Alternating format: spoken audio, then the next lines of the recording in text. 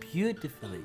Keep it going. Remember, you're surrounded on all sides by thick, chilling fog of, of an early morning ocean. No signs of land.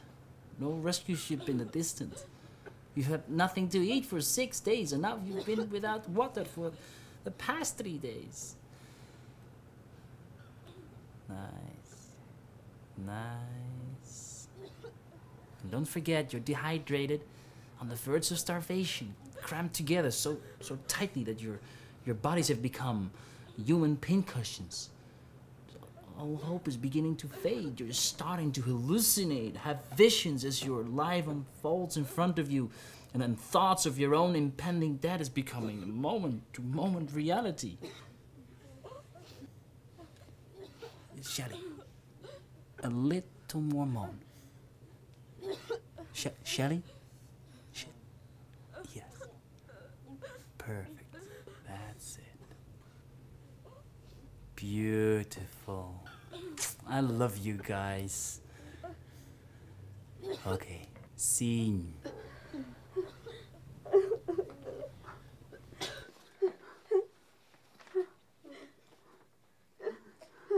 I've always been a good girl, though I've kissed a boy two. I saved myself a marriage, like any good girl would do. But now that I'm dying, all alone at sea, I only wish that Tommy Bates had been my number three.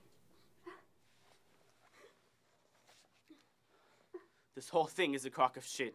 I wanted adventure, but this ain't it. And it ain't death that scares me none. It's loss of life before I'm done. Dear Juan, my husband, I will miss you most. I close my eyes and I hold you close. But do not cry, my love, for I will meet you again in the outer You world. asshole! I told you not to put your hands on me! If you touch me again, I swear, I'm gonna break your fucking face! I told you it's my character that's touching you, Janet, not me. You're such a moron. Who are you calling a moron, you moron? You're such an amateur. You know that, Yeah, Janet. and you're a freaking pervert. You know Okay, okay, that's enough. Knock it off. Okay, everybody take a 10 minute break. Janet and Aaron, stay.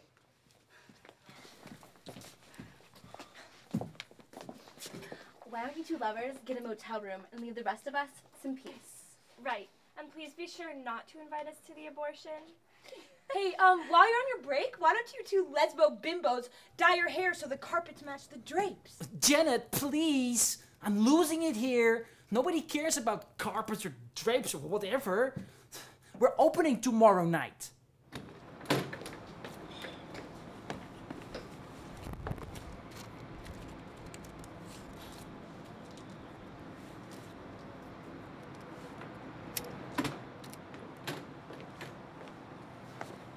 No, I quit.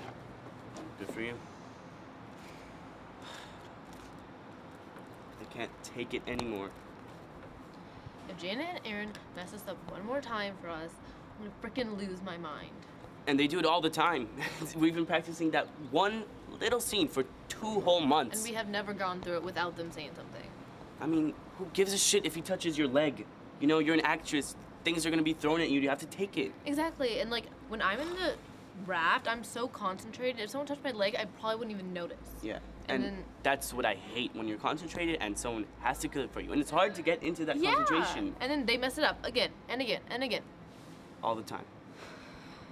They don't even care about anyone else but themselves. That's what pisses me off Exactly. too. Like they don't understand that when they break up a scene, it affects everybody. Yeah. They don't even care. They don't get what acting really is. They don't put the work in it. Like like Valerie and Shelley. You think they care about acting and what it's really about?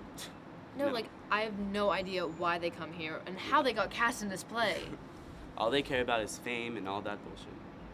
And it's really difficult for us to look at them after we work so hard Yeah. and then them just take it like not seriously at all.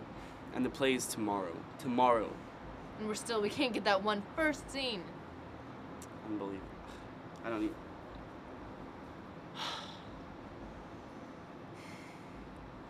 You're beautiful, you know that? You're beautiful too.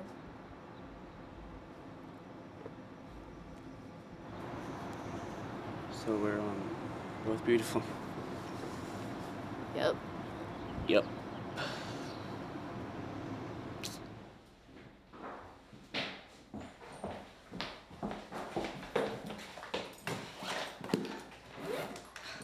I am so sick of these stupid rehearsals. Like, bring on the audience already. Exactly.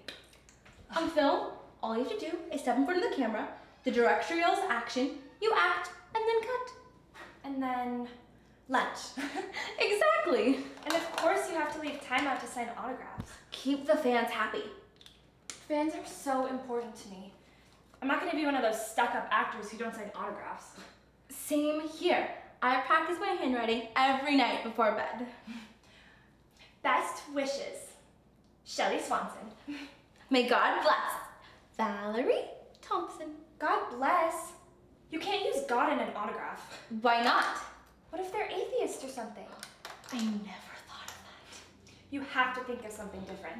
People like Tarantino and that guy who directed Village of the Damned are not going to hire someone they think is a right-winged Christian. Mm-hmm. Oh my god, What? is that a pimple? Where? Here, I don't see anything. look! You don't see that? I see it. A little red bump. It's nothing. It's tiny. That's how they all start out. Tiny.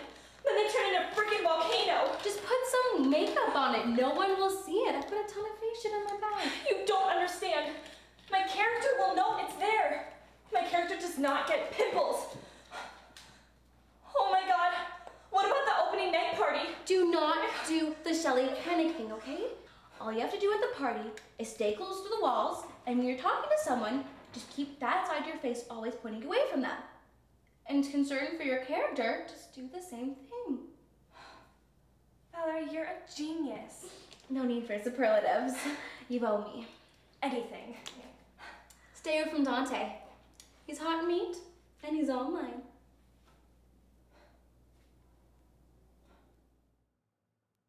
Johnny? It's me, Maria. Please pick up if you're there. Johnny, please. Where are you? I have called you all day, and why haven't you? Go away, little girl.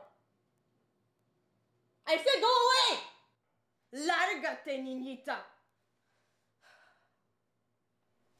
Shit.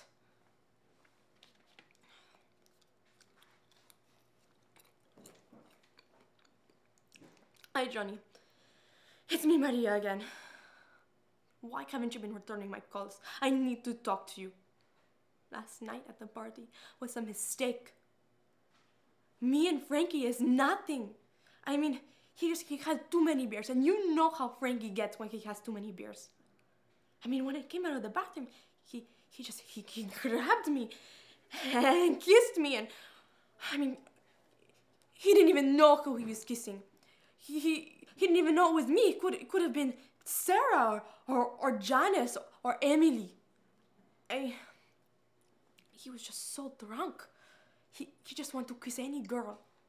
So please forgive him. I mean, he's your best friend, Johnny.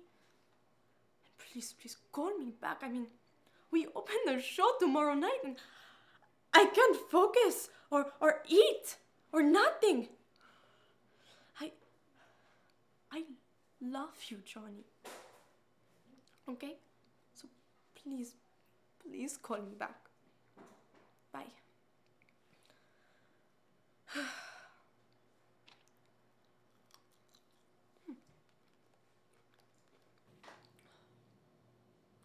Hi, Frankie. It's me, Maria. So, who wants to start? He keeps grabbing my leg. I told him 20 times already not to do that. It's part of my character, Janet. He's reaching out, trying to find a last touch of reality and a final moment of warmth before he jumps overboard and becomes shark bait. Then grab the friggin' shark's leg. You know what, Janet? Your freaking lame. I'll tell you what's lame, Johnny Depp. You're friggin' acting. Screw you. You wish. I'd rather take my chances with the shark. Hello? We're opening a show tomorrow night. Hello? Are there any actors around here? Good. Now, how are we going to resolve this? Aaron, Do you have to grab Janet's leg? No problem. It can be a metaphor for my character's last attempt to grasp the meaning of an existentialist life lived surrounded by a mortal mass of cold and indifferent humanity. You're such a smartass. Thank you. Coming from the original cold and immortal mass of indifferent humanity, I take that as a compliment. Look, I don't care if he touches me, but does he have to grab my leg so hard and so high up? Well, how about it, Aaron? Fine. I'll grab her ankle and I'll squeeze it ever so lightly. She'll never know I was there. Janet? Fine. Problem solved then. Good. Now, face each other. Hug. Come on. The hugs exercise. Face each other. Come on. We're all in the same boat, or in this case, the same raft. Hug. Come on. Yes. Get close. Come on. Yes. Uh, oh, you can do better than that. Let's see a big old actor's hug of love. Yes. Make it real. Stay with it. Stay honest. Now, I love you. I love you. I love you too. No, but I mean it. I mean, I really love love you. What? From the first moment that we were put together on this raft in the middle of the ocean, destitute and hopeless, from the first moment I felt the warmth of your breath upon my cheek, I knew that I could die a happy man as long as love was the last thing I remembered and your face was the last thing I saw. I love you.